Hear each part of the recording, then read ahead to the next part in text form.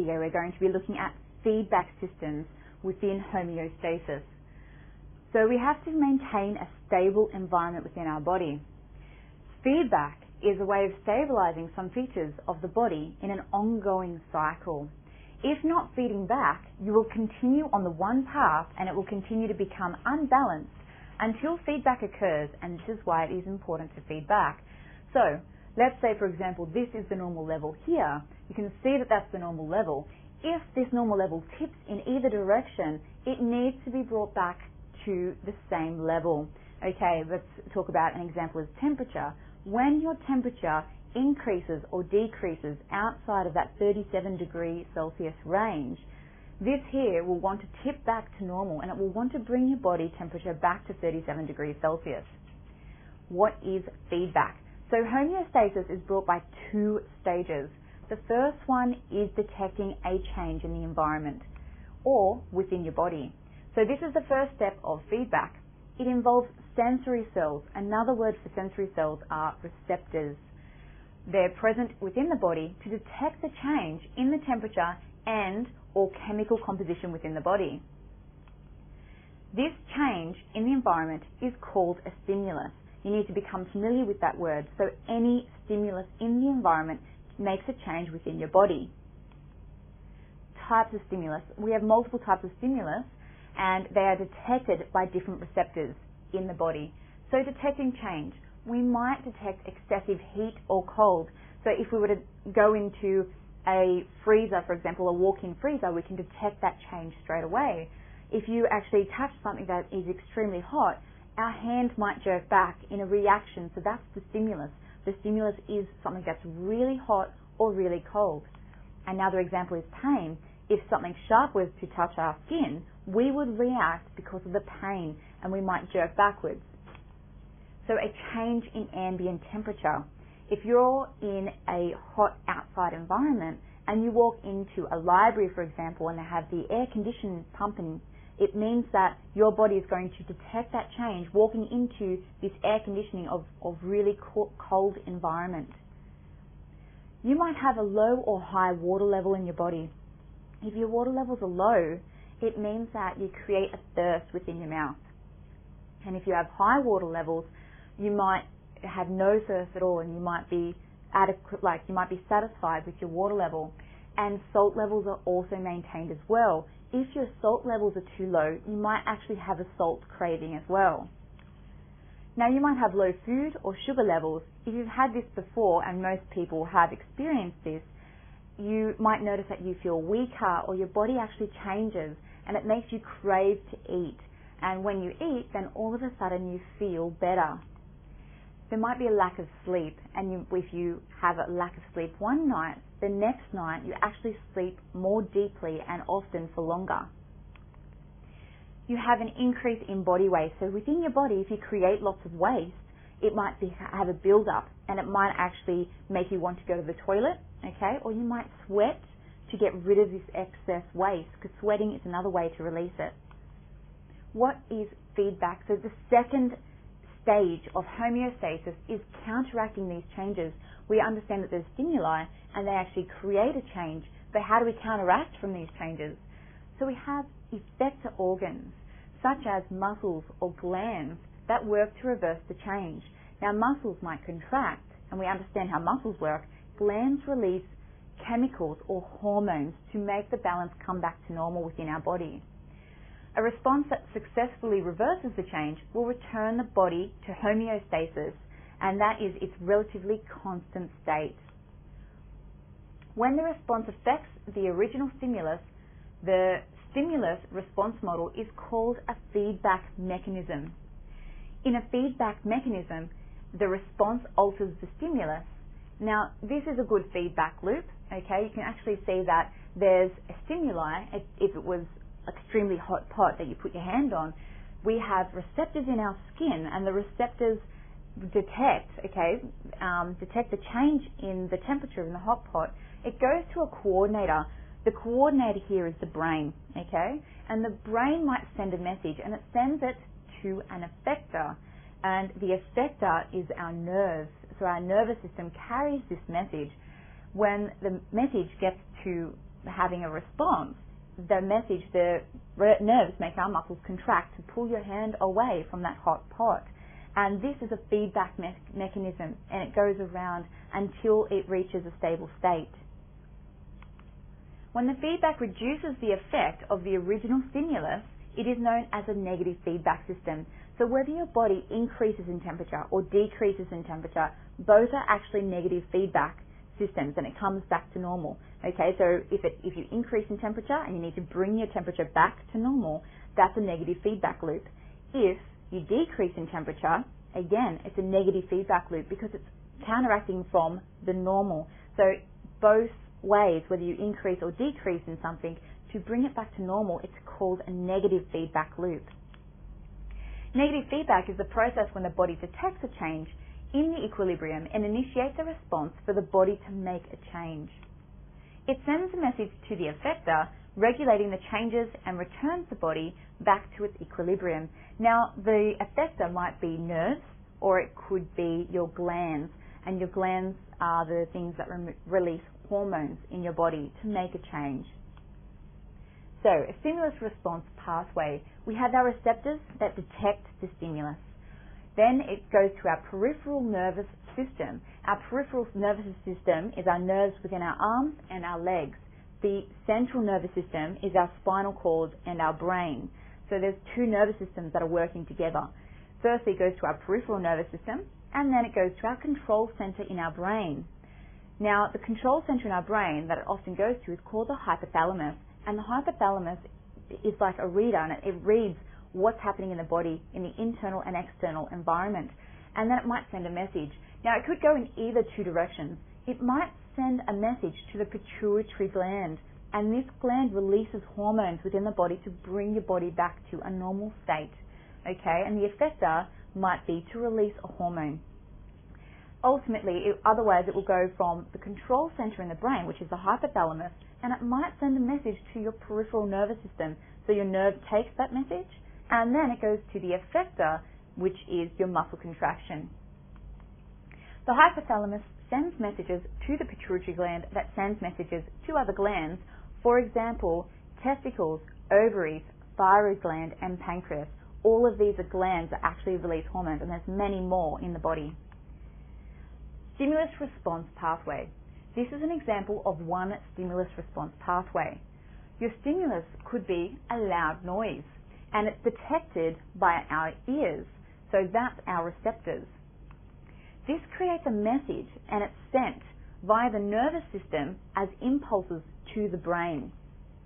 When it's sent to the brain, it, via the central nervous system, our brain processes the information and sends a message back to the effector. So it sends a message to an effector. In this case, the effector is the muscle to make our body react. So if we've heard a loud sound behind us, it actually might make our body react, and the response is to jerk back and have a look where that sound is coming from. Or if it's loud enough, your body reaction might actually just be to put your hands over your ears, depending on the way that you react to certain signals or stimuli. So the stimulus response pathway, this is a fantastic feedback model. And if you need to write feedback models, this is a really good way to do it. So to the left is the homeostasis feedback model. If you just want to do one, you can just do one loop of the negative feedback. But this one here can show both. So say for example with temperature, and I'll be getting you to do this as an example later, if there is an increase in temperature or a decrease in temperature, you can show both of these on this feedback model. We start with a stimulus, and like I said before, the stimulus might be hot or cold, it could be pain, okay? There could be water levels that are different in your body. So this, that's your stimulus. Your body detects the stimulus by a receptor. And then the receptor sends this message to a control center. So the control center is your brain. And your brain then sends a message. So it tends to be your hypothalamus. And it sends a message to either pituitary gland to release a hormone. And these goes to the glands. So the effector is actually releasing the hormones and the hormone detects or makes a change, and this is the response that your body makes in to make your body go back to normal. So your body makes a response within homeostasis. Now, as you can see, it comes around, goes back, and after your body makes a response, it's brought back to balance. But let's say, for example, your body just keeps on going and keeps making that response. All of a sudden, you have another negative feedback loop, okay? And again, it might be, this one here might be increase in temperature, and your body might bring it back to normal. This one here might be a decrease in temperature, and your body needs to bring that back to normal too. So this is important to remember and it will help you to understand a feedback system of homeostasis. So I've got an example here of a stimulus response pathway um, of water concentration in the blood. We start with the stimulus um, when constructing the models. So we always start with the stimulus here. Now let's go through this together. We have a balance line. This is the balance, and we always know that that's where the body wants to be. This is the stable state. This is homeostasis. Now, there might be a stimulus. Your water concentration decreases in blood. Now, you might not have drunk water for a while, and it, your water concentration might decrease in your blood, and your receptors need to detect that change. And the receptors here, for this particular example, are osmoreceptors in the hypothalamus detect the change. So we have osmoreceptors. So the control center, the pituitary gland releases the antidiuretic hormone. Now, a diuretic, if you drink coffee or tea or anything with caffeine, so Coca-Cola, all of these actually have a slight diuretic in it, which means that after you drink these certain drinks, it makes you want to urinate. So it makes you want to go more often as well. So if you're a really strong coffee drinker, a really strong tea drinker, or Coke drinker, you'll find that you need to go to the toilet more often. So your body here is actually releasing a hormone called antidiuretic hormone. So it does the opposite of diuretic. It makes you not want to go to the toilet. So the effector is increased antidiuretic hormone is released. As it's released, what it's actually doing, our kidneys uptake more water and it means that our urine is more concentrated and we need to urinate less frequently. So this is when we don't have enough water in our body. The stimulus, water concentration decreases. We, our receptors detect that change, send a message to the control center, which is our brain, that goes around to the receptors, which we increase in the antidiuretic, antidiuretic hormone, which is released, and it makes a response within our kidneys. If it goes the opposite way, if we drink too much water, for example, and if we drink lots um, just in general, what actually happens is the water concentration increases in blood. This means our blood becomes thinner. The opposite is your blood becomes thicker. So water concentration increases in blood, it makes your blood thinner. Osmoreceptors in the hypothalamus detect the change and the message is sent to the pituitary center in the brain. So the pituitary gland releases ADH hormone still, but it releases less. Okay? So it doesn't just stop altogether, it just releases less antidiuretic hormone. And as a result, we don't feel thirsty, there's less uptake of water, there's decreased water concentration in blood, and our urine is less concentrated. And you might actually find that you're urinating more frequently when you drink lots of water or liquids. So, can you construct your own using this one as an example for temperature regulation? Press pause now to have a go at this one. Okay, so this is the feedback model for temperature regulation. Again, balance. We know that the balance is around approximately 37 degrees Celsius. So let's say, for example, the stimulus is the air or body temperature increases. Either one, because if you actually exercise, your body temperature is increasing. If you're just in the outside environment and it's summer, the temperature is already, the ambient temperature is already increased. So what detects that? It's our thermoreceptors in our skin. So the thermostat of our body, the receptors in our skin detect this change. And the message is sent to the control center. So this is the control center, which is our brain, and the signal is sent to the hypothalamus. When it's sent to the hypothalamus, it sends a message to our sweat glands. So the effector is our sweat glands, they're activated, and dilation of blood vessels. Why would your blood vessels dilate? Have you noticed that when you do more exercise, especially if you are quite a muscular person, if you do more exercise, And as you're doing exercises, you might actually find that your blood vessels are expanding. And the what that actually does is it increases the chance. So it rises to the surface, these blood vessels, and it means that heat can be released. So that's the point of actually dilating the blood vessels. If they're dilated, which means that they become larger, they're releasing heat. The response, so sweat evaporates, and as it evaporates, it has a cooling effect on your skin. So dilated blood vessels release heat from your skin surface. So that is the negative feedback loop of when it is hot outside or when you produce more heat. So it's brought your body back to balance. Now, if your stimulus is the opposite, so either your air temperature is cold, or you might just be cold because you're not moving around and you're not wearing enough clothes for the day. So your air or body temperature decreases. The receptors are the same, so it's still the thermoreceptors in the skin that sends a message to your brain. When it sends a message to the brain, it's the signal is sent to the hypothalamus, and the hypothalamus makes the effector have a response.